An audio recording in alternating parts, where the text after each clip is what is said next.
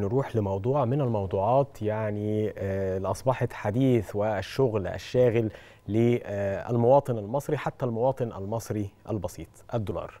اللي حصل سعر الدولار انخفض قدام الجنيه المصري بعد ارتفاعه في الفترة اللي فاتت على عكس على عكس كل التوقعات يمكن اللي كانت بتردد أثناء فترة العيد تحديدا بعد اجتماع البنك الفيدرالي.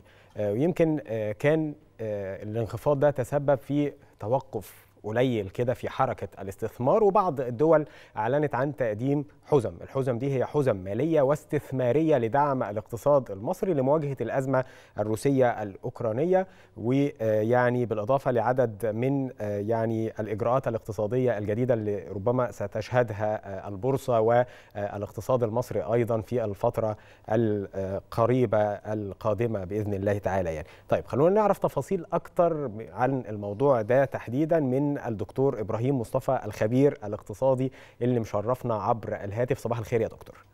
صباح النور يا فندم ازي حضرتك الساده المشاهدين أهلا بيك. أهلا بيك يا دكتور. يعني دكتور في البداية يمكن زي ما أنا ما قلت أصبح المواطن المصري البسيط خبير اقتصادي. الكل النهارده بيتحدث في سعر الدولار ارتفاع لا انخفاض. إيه السبب في الانخفاض النهارده على عكس التوقعات يعني اللي كانت سائدة في الشارع المصري انخفاض الدولار أمام الجنيه المصري؟ وهل رفع الفايدة هو سبب في مواجهة ارتفاع التضخم؟ خلينا نقول بس اهتمام المواطن ده طبيعي جدا لأنه تأثر بالتكاليف المرتفعة لكافة المنتجات. خدت بال حضرتك؟ لأن النهارده بنتكلم على ارتفاعات في أسعار متتاليه نعم. الفترة اللي فاتت منذ اندلاع الازمه الروسية الاوكرانيه وقبلها كان أزمة التضخم العالمية وأزمة سلاسل الامداد فشيء طبيعي المواطن يهتم النهارده نتيجه ارتفاع الأسعار وكل ما يسأل يقول لك ليه؟ عشان موضوع الدولار. تمام؟ فبقى كل حد كل حد بيتكلم النهارده عشان موضوع الدولار سيارة الدولار أكل الدولار كل حاجة. ماشي. نتيجة إن النهارده عندك معظم التكاليف الانتاج اللي أنت مرتبط بيها مرتبطة بتغير سعر الصرف وعوامل أخرى. صحيح. تكلفة استيرادك الفترة اللي فاتت زادت نتيجة برضه ارتفاع اسعار الأسعار عالميا. ومش عليك بس على كل دول العالم. كل دول العالم تشتكي من ارتفاع الأسعار وفي دول وصل فيها تضخم لاكثر من 20 و30% طيب نرجع تاني لموضوع الدولار وانخفاض سعره. مفيش سبب جوهري خدت بال حضرتك هو كل الموضوع هدوء نسبي وترقب ترقب ليه يا فندم؟ ترقب لسير الأحداث. مفيش حد يقدر يقول لك على توقعات الدنيا رايحة فين. كل يوم عندنا تغير كل أسبوع عندنا تغير. لأن إحنا مرتبطين بما يحدث في العالم. صحيح.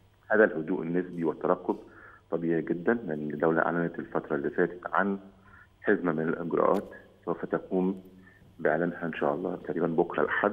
رئيس الوزراء في مؤتمر صحفي عالمي للإعلان عن ذلك. آه عشان يعلن عن خطة الدولة للتعامل مع الأزمة واستراتيجيتها. ويمكن دي كانت إحدى توجيهات السيد الرئيس عبد الفتاح السيسي في إفطار الأسرة بالضبط. المصرية الاعلان عن يعني الخطة الخاصة بالدولة في هذا المسار تحديدا. يعني. وكلف كافة الجهات الحكومية والمؤسسات من القطاع الخاص. طيب. والأحزاب المصرية للدلو بدلوها في يعني تدلي بدلوها في هذا المجال وكل واحد يقدم مقترحاته. فشيء طبيعي كله بيترقب وفي هدوء نسبي. والطبيعي إن إحنا كلنا نهدى عشان نعرف نتعامل مع الأزمة، الهدوء في حد ذاته مهم جدا لأن التوتر بيسموه تبقى بوشي إنك على طول متوتر وتجري ورا الحاجة والكلام ده كله ده بيأثر على استقرار السوق بكل منتجاتك سواء سعر صرف أو منتجات. خدت بال فهذا الهدوء النسبي والترقب طبيعي. طب يا فندم إحنا في ناس دلوقتي في الشارع ومع إن الاقتصاديات في العالم كله غير معروف هي رايحة فين؟ إحنا يعني محدش عارف محدش قادر يقول بالظبط.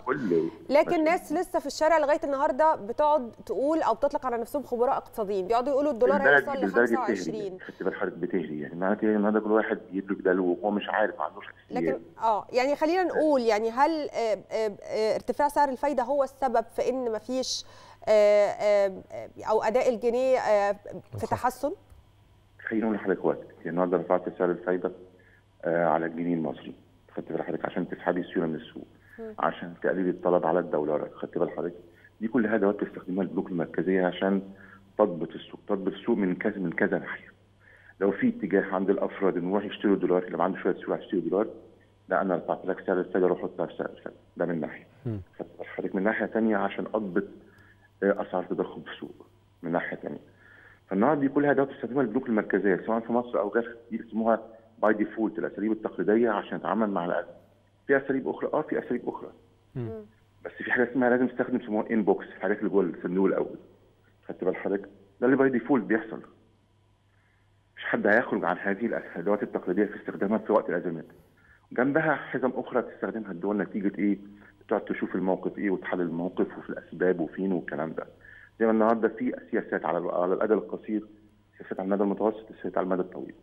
على المدى الطويل المتوسط محتاجة تعملي حاجة اسمها كده حضرتك تحاول تزودي نسبة الاكتفاء الذاتي من السلع بتستخدمها من الخارج تزوديها. بقول لحضرتك مفيش حد بيقدر يعتمد 100% على الانتاج المحلي فعشان كده النهارده الرئيس برضو في الفترة اللي فاتت استجاب لقطاع الصناعة والمنتجين باستثناء السلع مدخلات الإنتاج والسلع الوسيطه من قرار من تعليمات أو إجراءات الاعتمادات المساعده مطلوب يعني عشان نشجع الإنتاج. أنا بشجع القطاع الخاص. ما ينفعش أوقفه. يعني نفهم نفهم من كلام حضرتك دكتور إبراهيم إن الفكرة أو ما حدث في الاقتصاد المصري الداخلي تحديدا من انخفاض لسعر الدولار أمام الجنيه هو السبب في حزمة الإجراءات الاقتصادية اللي عكفت عليها الدولة في الفترة السابقة لمواجهة هذه الأزمة بالإضافة كمان يعني للاعلان عن المؤتمر العالمي ل يعني وضع الأمور في نصابها أو في